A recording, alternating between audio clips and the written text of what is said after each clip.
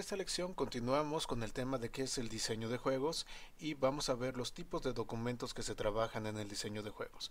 Veremos en qué consiste el High Concept, Game Treatment y también el Game Script o conocido como Biblia del juego. ¿Qué tal amigos de YouTube? Bienvenidos a esta lección en la cual continuamos viendo el tema de qué es el diseño de juegos y bueno pues es la última lección de este tema ya posteriormente pasaremos a otros temas. En esta ocasión vamos a hablar acerca de los tipos de documentos de diseño. En orden cronológico vamos a tener básicamente tres documentos de diseño. No es forzoso que se tengan los tres, pero digamos vamos a ir conociendo cada uno de ellos. Lo primero que tenemos es un documento que se conoce como High Concept, que generalmente va a tener de 2 a 4 páginas. Luego vamos a tener otro que conocemos como Game Treatment, que va a tener entre 10 y 20 páginas. Y por último Game Script, que puede tener, no sé, alrededor de 50 a 200 o incluso muchísimas más páginas. El Game Script es lo que también se llega a conocer como Biblia de juego. El primer documento que tenemos es el que se conoce como High Concept y es el documento que vamos a crear después de tener la idea original del juego. En este documento vamos a describir cuál es la idea fundamental del juego y bueno, pues nos va a ayudar para aterrizar precisamente esa idea de juego que nosotros tenemos. Si tenemos la oportunidad de presentar nuestra idea a algún ejecutivo de una empresa para que lo publique o para que financie el desarrollo y la publicación del juego, bueno, pues este es el documento que vamos a utilizar, porque generalmente estos ejecutivos no tienen tiempo de leer grandes documentos, no van a, leer la Biblia del juego, que sean 200 o más páginas, sino que van a contar con muy pocos minutos. Entonces, en esos pocos minutos que nosotros tenemos, tenemos que darles un documento que les permita saber de qué se trata el juego y empezar a enamorarse de la idea para que les genere interés y nos vuelvan a contactar. Entonces es un documento que debe de leerse en pocos minutos, por eso recomendamos no más de cuatro páginas. Para hacer un high concept vamos a utilizar una semana. Vamos a tener cuatro días pensando y un día escribiendo.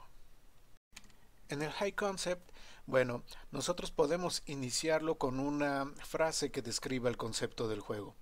Y esta frase debe estar muy bien pensada. ¿Por qué? Porque debe de capturar la atención del publisher lo antes posible.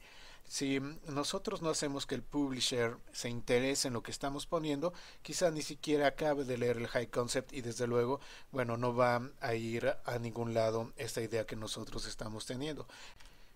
Entonces, por favor, creen una frase que sea atractiva, que llame la atención, que genere interés, que genere curiosidad sobre qué más cosas tiene este juego. Bueno, aquí tengo un ejemplo que dice un supersoldado debe de rescatar un satélite con muestras de un virus mortal que ha caído en un planeta donde vive una raza de criaturas que confunden el satélite con su dios. Entonces traten de crear algo así o incluso mucho mejor que esto que está acá que genere interés, bueno, qué es lo que puede pasar, qué puede ocurrir, quiénes son estas criaturas, eh, qué tipo de conflicto va a ocasionar que confundan el satélite que hay que rescatar con su dios. Entonces, bueno, es muy, muy importante que capturen la atención del ejecutivo, de la persona que va a tomar la decisión sobre si se va a publicar o no se va a publicar el juego. En el High Concept tenemos que cubrir varios detalles. Pero recuerden, tenemos únicamente cuatro hojas como máximo, entonces deben de ser muy al punto, muy específicos. ¿Qué detalles son los que tenemos que cubrir? En primer lugar, la premisa del juego. Luego, la audiencia a la cual se va a dirigir el juego. El género del juego, si es que pertenece a alguno, si está bien definido adentro de, de un género. También tenemos que poner sus puntos fuertes de venta. Esto es algo que es muy muy importante para las empresas.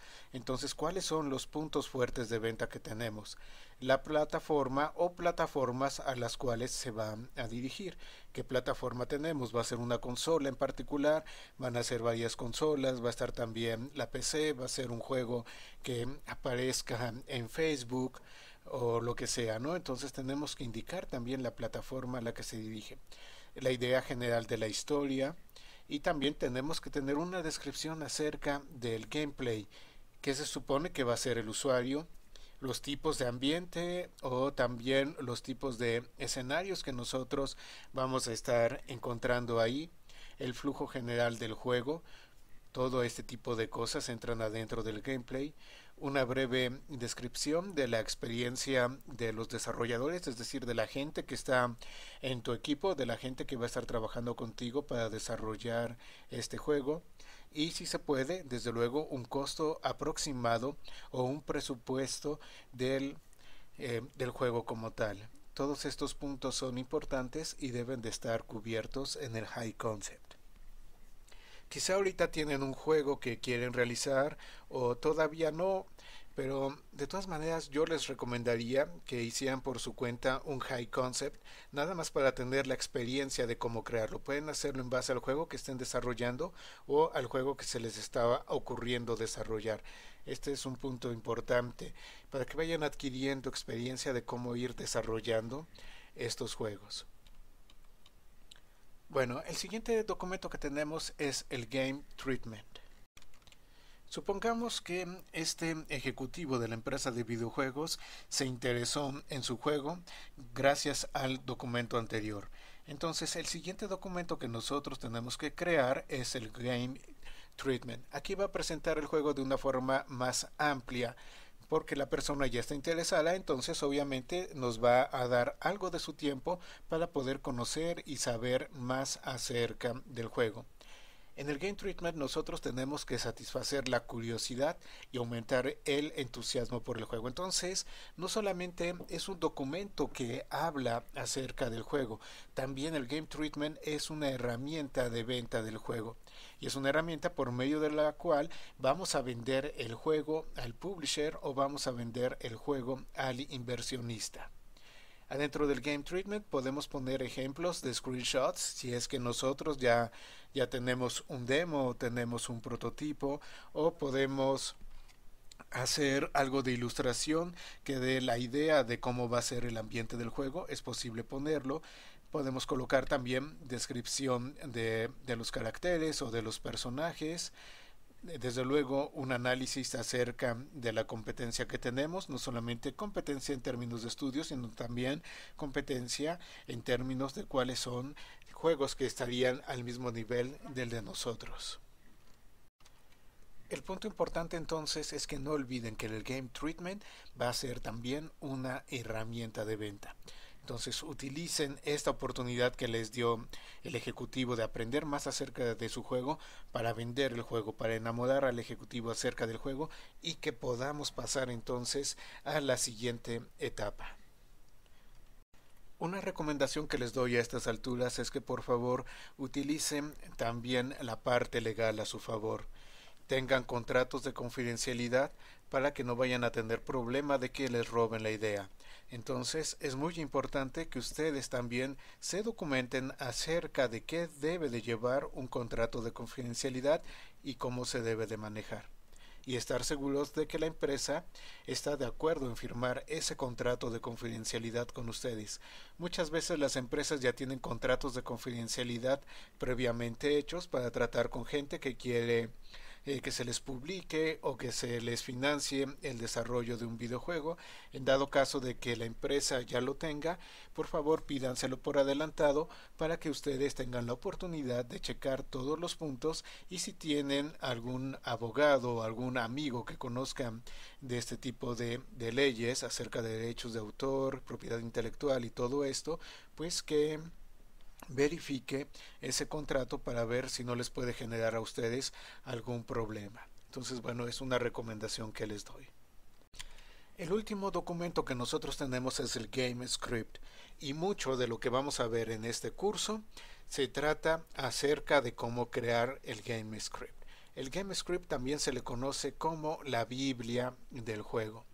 Y bueno, su objetivo es documentar todas las decisiones de diseño que tenemos va a ser como que la referencia oficial para todo lo que sucede en ese juego. Va a ser la referencia para la estructura, para la organización del juego. Entonces el Game Script lleva todo eso. Es un documento sumamente importante.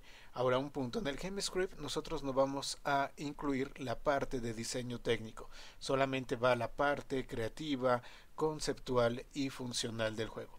La parte técnica la vamos a manejar en otro documento aparte.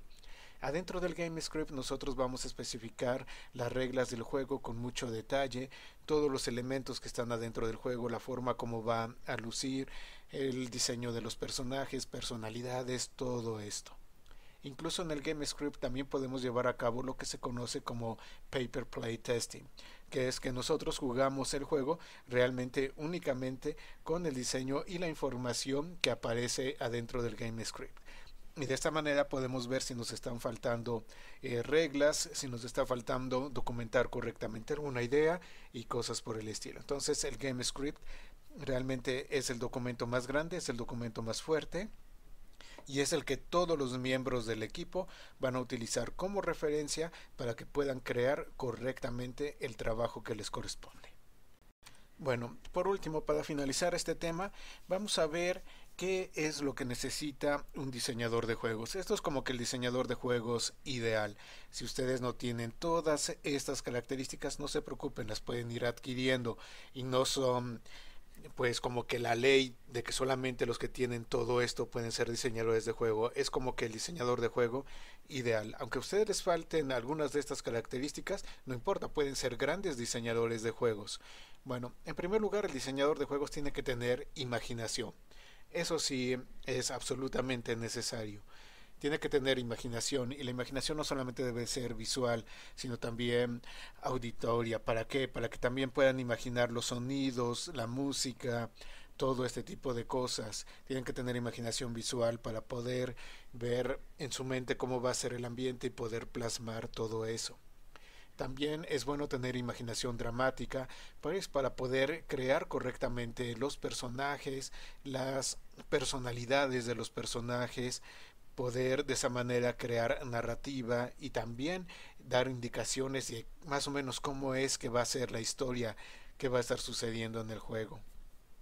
Imaginación conceptual para poder relacionar las ideas entre sí y que no haya lagunas adentro del juego que dañen al gameplay es bueno que el diseñador de juegos tenga conocimiento técnico, pues para saber qué cosas sí son posibles hacer y qué cosas no son posibles hacer sobre la plataforma en particular que se tiene.